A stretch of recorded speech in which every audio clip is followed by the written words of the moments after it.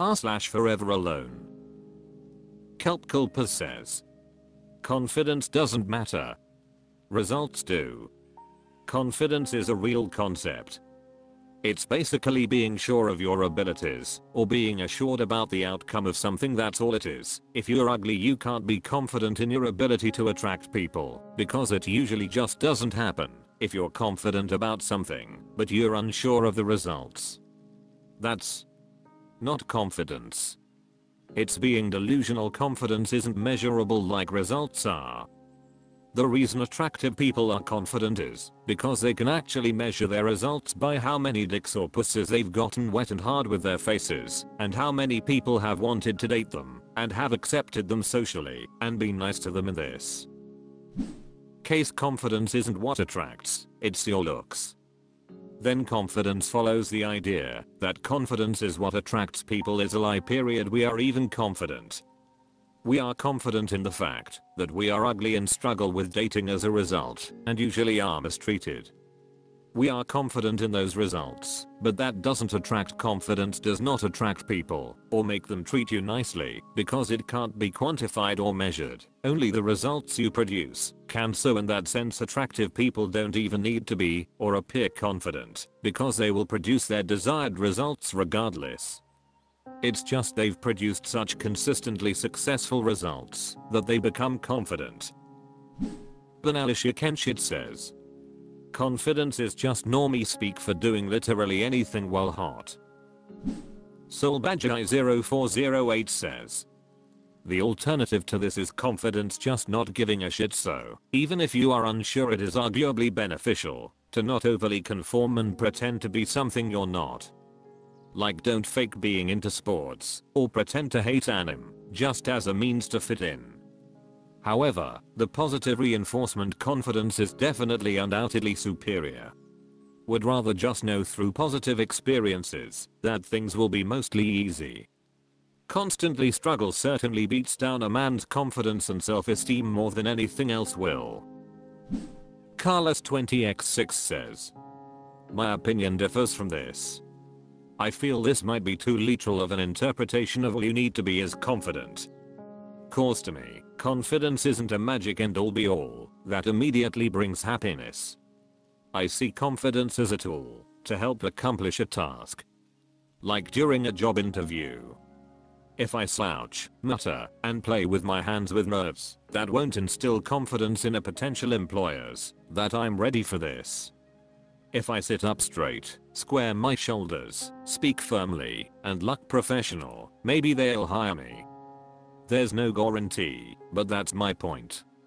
Confidence is only one of several things that can potentially help. We are all free to decide whether or not confidence will help, but I'll always make the attempt to be as confident as possible in any situation that could expect it, and I always encourage others to do the same. Blighted Buttercup says, I've put in the work, I tightened up my diet, I hit the gym, I started seeing a real hairstylist, I started a skincare routine, etc. At the end of the day, if I still don't manage to ever attract someone, I'm not blaming myself. It's not my fault. I did what I was supposed to do. I'm not sitting around hating myself for failing. I'm turning that frustration outward and getting mad at the world for not giving me what I deserve, mad at society for not valuing the right things, mad at those who snubbed me for not giving me a chance. Life simply isn't fair, and I pulled a short straw. Better to be lonely than lonely and self-loathing. That's confidence. I'm confident I'm a good person. I'm secure in my identity, I'm not confident that I can secure a favorable outcome because the outcome depends on a ton of external factors. But myself? Yeah, I'm good. I'm confident that I'm at least putting in my best effort, and if that doesn't work it isn't necessarily because I didn't do enough or didn't do it right. It certainly does help attract, or at least it's a minor r slash forever alone. Drelix says. I have decided to completely give up on dating and romance. I've reached a point in my life where I just don't think I could ever be with anyone. I don't think I have the capability of making another person happy. I don't think my presence in another person's life could add value to their life. I'm mentally overwhelmed from past trauma.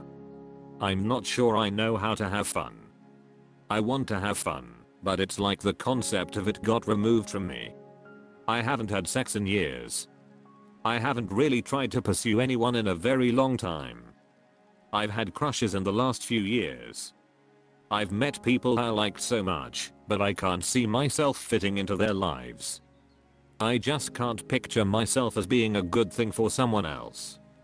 A lot of my friends talk to me about getting a girlfriend, and people do remind me that I'm not that unattractive. I'm out of shape and healing from a back injury, but I love jogging slash running, and I look decent when I'm cut. Not that impressive or anything, but in that way, that everyone looks more attractive when they're a bit lean or muscular and have a decent haircut. I don't feel like being able to attract someone is good enough though. I'll just be that guy who seems cool at first and then totally disappoints when they realize I have no friends. I'm 33 and feel too old to truly make friends now. I just honestly feel broken and I think I'm officially forever alone. It doesn't matter if I could meet someone or score a first date or anything like that. I'll never be mentally healthy or put together enough for a successful relationship. I'll never be able to make anyone happy or content. I've failed as a man. I've failed as a human being. I feel like if I tried to be with someone despite my flaws I'd just end up hurting people, so I just have to be alone from now on. So that I don't hurt anyone or waste their time. Granite Smithy says. I feel this way too. Even though I'm younger, I feel like I'm far too down the pit of bitterness and misandry to function properly in a relationship. Love is just a luxury that I did something in a past life to not merit. Maybe I was a particularly vicious Mongol general or something. Alan 1013 says. Even though you feel this way, PLS don't say you failed as a man or as a human. Truth be told not everyone is meant to be married and have a family, but that doesn't make you a failure at all. You can accept being forever alone, but try and find something that you enjoy. The Immovable says. This is very much me being almost 30, but don't assume you can't bring happiness or value to someone's life. Our past doesn't get to define us today or where we'll go in the future. More power to you. R slash forever alone. Fox says. I'm 35 sexless loser. I'm a man who women find totally sexually unattractive good friend, friend zoned, shorter who they can cry out about their bad boyfriends I was rejected my whole life by every woman I try to get closer to. I was rejected for junkie, who was taking all possible drugs. At work there was woman who was very promiscuous, she slept with all men. Yes literally all men in department except me, and not because that was my choice, but because I was not attractive for her. I can't pretend anymore that this is not affecting me. I'm at the age when most people had already their time, and now they have, or at least planning family. And I did not even have a relationship, not even any hookups, one night stands, but I wish to and I can't handle. Any more fact that I'm on that age, and all this is already gone. I aged very badly. Circle of people I know is very short now because all of them started family and are busy with their own stuff what I did all this time. I did not stand still. I really worked on myself. I did years of therapy, medication, positive mindset. I got hobbies, worked hard, getting finances in order, making dreams real it I could even say that I'm in good place right now with my life. Ironically a lot of people who were laughing at me are Giles and admire me at least, so I was told by them but so what? As much as I was invisible for women, I still am. This part of my life is already gone, and I'm not okay with that. Eat Cut Repeat says. I'm on the path to becoming you. 26 currently, still a virgin. I fall very easily for any girl who gives me slightest bit of attention. And then I end up being completely addicted to them, making my life about making things better before inevitably my feelings get the better of me, and I have to let go of them. How I wish I was normal. How I wish someone would find me attractive. The thought of being alone, forever, has me stay up at nights. Money is no good when you're lonely. I wish I could just die.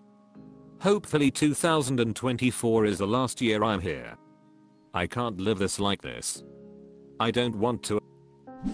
Elder Sensei 1989 says. 35 meters here, you and me both bro. Women roll their eyes when making eye contact. It used to F up my whole day. Nowadays it is just something to be expected regularly. The Starving Artist 5 says. Yeah it's a complete waste. Everyone else had their dating fun in their teens and 20s. Now everyone is settling down and us losers who got rejected didn't even get a chance to start. How are we even supposed to date? People will hold it against us that we have no experience. Throw me way at 35 says. Choosing a drug addict over this guy. Another has no problem sleeping with every man at work but all of a sudden draws the line at you? Make it make sense. Gibloops says. If you have money for plastic surgery go for it. Arontaplin says the friend group or office ho realizing she has been too promiscuous in the past after you make a pass at her. So now she's cutting off everyone at least until you realize it wouldn't even happen with her. That's a fun one too.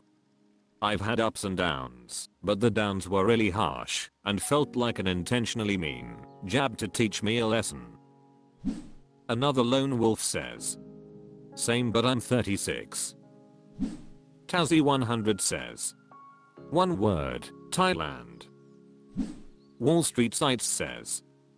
Have you considered trying to turn this into an opportunity? Take the approach of Schadenfreude when they tell you their distressing tales of dickpidity, stupidity keysed by penis lust, you just fap, and then once you're done. You can share your side with them if you want. I'm being completely facetious and speaking from the view of someone who is also forever alone. Dark humor, gotta cope somehow.